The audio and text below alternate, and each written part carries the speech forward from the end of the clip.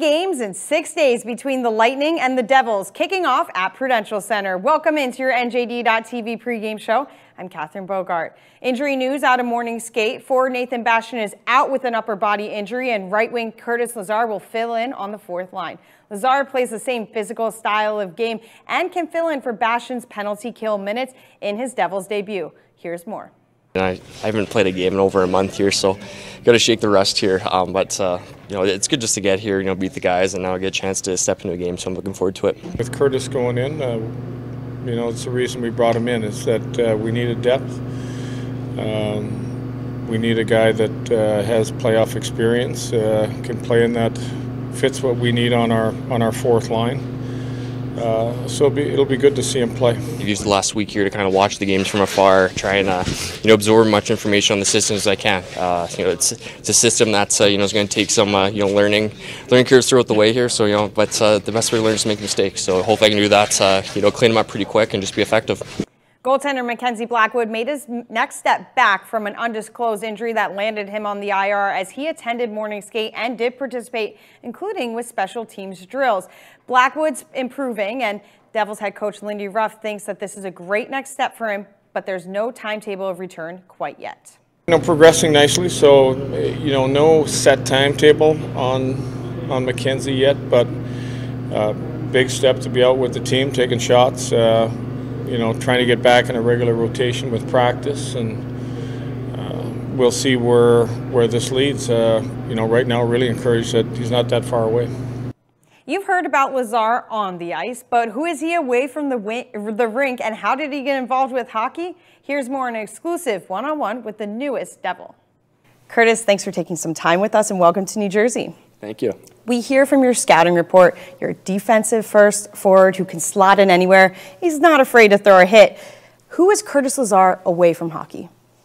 Probably honestly the complete opposite. You know, I, am a dad, uh, you know, a husband, uh, just just overall family man. Um, you know, I'm pretty easygoing. Um, again, just I just like to have fun. So to come here with the Devils, you know, a young team and stuff, it's it's been a lot of fun. So I'm, I'm looking forward to building those relationships and, and getting to know the city too with my family. You grew up in British Columbia. You played hockey in Canada, where it's a lifeblood. How did you go from junior hockey player to being drafted in the NHL?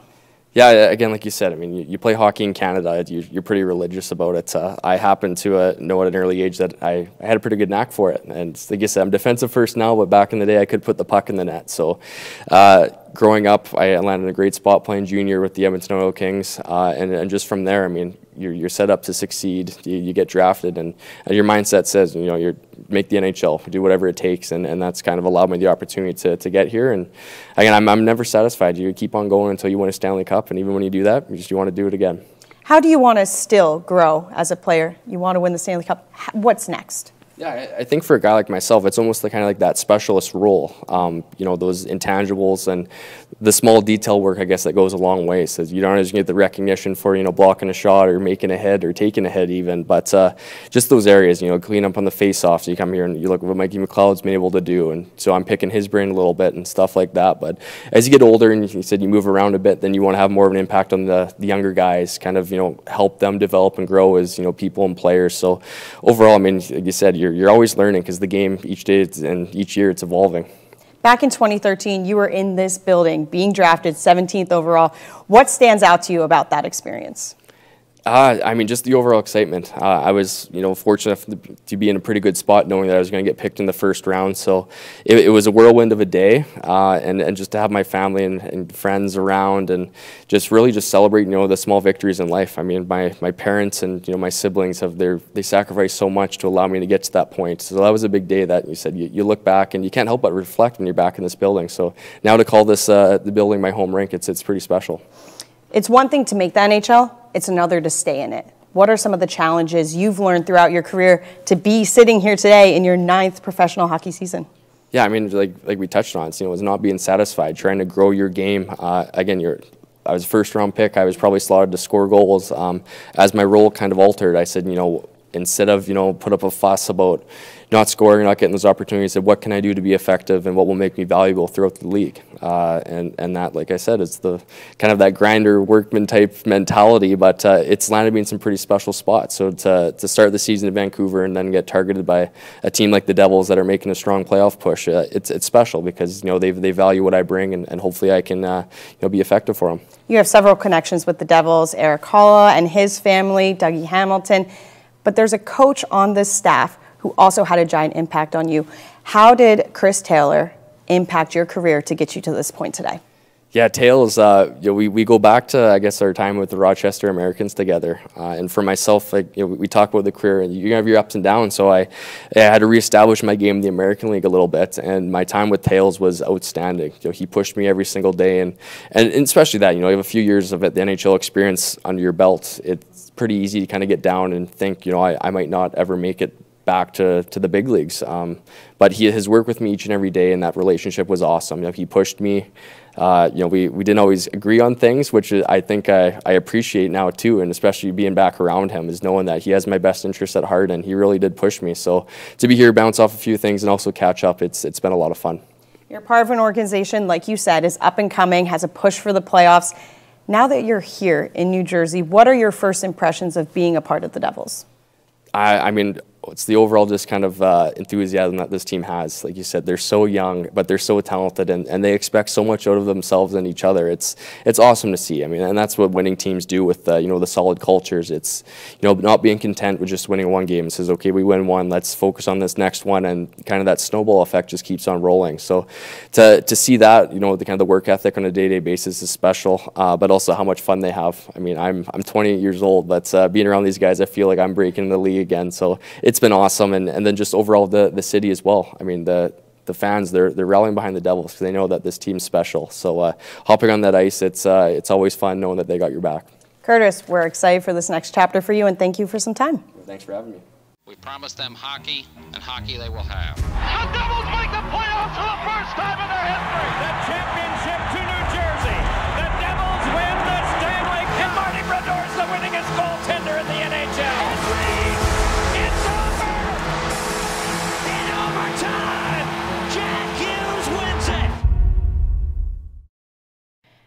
After 11 seasons with the Lightning franchise, forward Ondrej Palat faces his former team for the first time, making him tonight's Devil in Focus presented by Nerd Focus. Palat is an elite playmaker who uses his body and physicality to win board battles and then score those dirty area goals, adding a mental toughness to this Devils forward group. Palat also knows what it takes to win. He has back-to-back -back Stanley Cup championships and has helped the Devils to a league-leading 22 comeback wins this season. He discussed facing his former team after morning skate. Let's take a listen. It's been a long time uh, in Tampa, so yeah, it's, it's going to be exciting. But I'm sure when puck drops, it's just going to be uh, just another hockey game. does it add motivation? And is there someone on the other side who you're really not looking forward to playing against? Uh, yeah, I'm motivated like like everybody else. They're they're a great team, and uh, we want to win.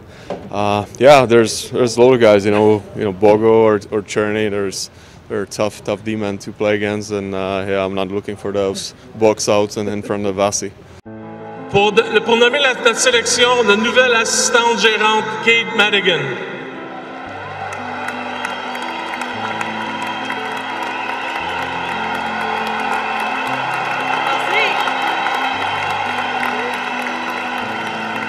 Et avec le deuxième choix, the Devils do New Jersey. The second selection, the New Jersey Devils are proud to select from Nitra, Simon Nemec. For me, it was a surreal moment. I immediately called my parents. My dad was actually at the draft. It was just again to see the outpouring of love to get the cheers i did i wasn't expecting i was extremely nervous even this i don't love public speaking so to get up on stage in, in front of thousands of people live and on tv i was extremely nervous i don't think i realized the impact it would have until after when I had a ton of people, GM's daughters reaching out, being like, hey, my daughter wants to talk to you. She, she was watching for me on the draft and she actually saw you. That was kind of like, okay, this this does matter. You don't need to have a certain path to be in hockey. You can be accounting like myself, or you could have a gold medal and a captain like Megan Duggan, Or our director of finance has been here forever. You can be in finance and in hockey. Uh, Marie Cannavale has been here forever, and she's the backbone of all of our operations. So there, there's so many women that you don't need to just fit a particular mold. So everyone says break the ceiling, and I like that, but my thing is break the mold. You can be different than your counterparts, so don't ever discredit yourself. Like now more than ever, you don't need to have a certain checklist to work in sports. So th- that's kind of what I go off of. I'm in the locker room all the time, in and out with the coaches room, with Tom Fitzgerald, with our managing partners, in to not feel like I don't belong, or for them to include me in discussions and things like that because I've earned that seat at the table. It's not because I'm a woman. It's because they value my opinion. They value my experiences. I have a different lens and perspective. So I just think it shows that you, are not just checking the box by having diversity, you actually believe in it, and that's something we do do here, um, and I think a lot of teams do. So to have the buy in, I think for me specifically from the players is huge because I played sports, I never played hockey. So I was a figure skater and I ran track. Those are more individual sports. To be in a locker room setting and feel included in traveling with the team, always being around, and them being comfortable with me, it's pretty big for me because it allows me to be comfortable with them back. The Lightning may be 3 5 and 2 in their last 10, but they know how to win, and their three straight Stanley Cup final appearances are proof. Tampa's a top offense in the NHL that averages over three goals a contest and has five players with over 50 points. So there's several offensive threats the Devils need to target. The Lightning's power play is second in the league, putting pressure on New Jersey to stay disciplined. Here's more from Ondrej Palat against his former team and the secret sauce down in Tampa. Great players, uh, good coaching, and uh, everybody bought in into their roles on the team, uh, right? So so everybody knew what, what to do on the ice, and they, they followed the system pretty well, and and uh, they play good defense, and that's why that's why we won there. For the Devils, three of their next four games are against the Lightning, making it a playoff-like feel against a perennial contender. This week is a check-in for New Jersey and gives the young Devils core a taste of what they can expect this postseason. Here's more. You know, I think we've got a feel for these type of situations during the uh, you know, the COVID seasons where you're playing teams two, three games in a row. And um, it is about instant adjustments. Uh, you get to play them again right away. I mean, we're going to play them three of the next four. So, you know, they'll probably make some adjustments to what we do, and we'll try to make some adjustments uh, to how they play.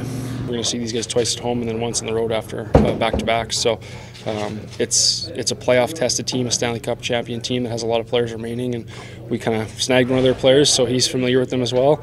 Um, but overall, yeah, it's like a little mini playoff season. We just got to be prepared to if we're going to be in the playoffs this year and going to be looking to go deep, we got to win win series, and it can't just be, you know, one one off type of game. It's not like the NFL where you win one game and you continue. We got to win four games in a playoff series. So this is kind of a mini one of those. This first one, I mean, it's it's like you got on the schedule and we go out. it. Uh, it's it's the next game that you kind of you know you can get the adjustments here and there, but like you said, I mean, there's a lot of pride in this league. It doesn't matter who you're playing against, uh, and those rivalries grow. So it kind of brings us back to kind of that COVID year, you know, the the yep. type situations, those two to three game sets. But uh, it's going to be fun, you know, because it's something to look forward to. Uh, you know, you can't can't overlook it in any regard. You know, they're a great team, and we got to keep this thing going. So focus on tonight's and just keep building.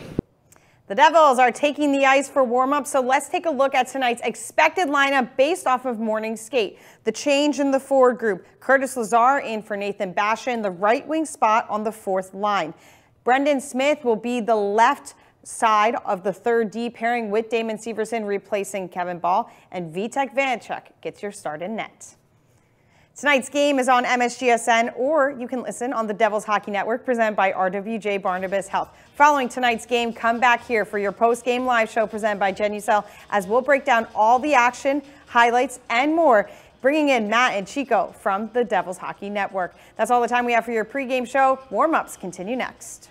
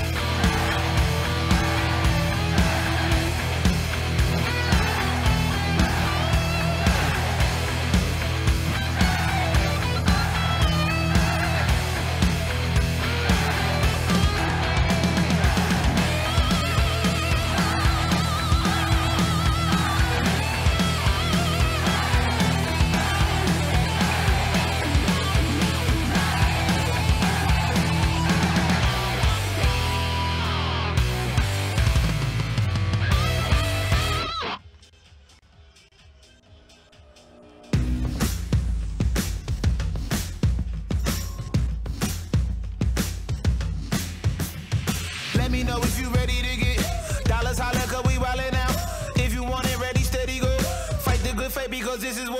Uh, we won't go out without a fight. Uh, that's the way of a survivor, man. Lace up your boots cause the race is on. Ain't no one taking me out my zone. If you don't know what I'm coming for, if you ain't worthy, I'll take your throne. I put that on everything I love. Sweat and blood, but the best has to come. Wanna stand up if you getting down. Put up your fists if you with it now. We them big hitters, so brace yourself. Just another notch up on the belt. Born for greatness, man. Born for greatness, man. Born for greatness, man. Rah, rah. Let me know if you ready to get dollars holler, cause we wildin' out.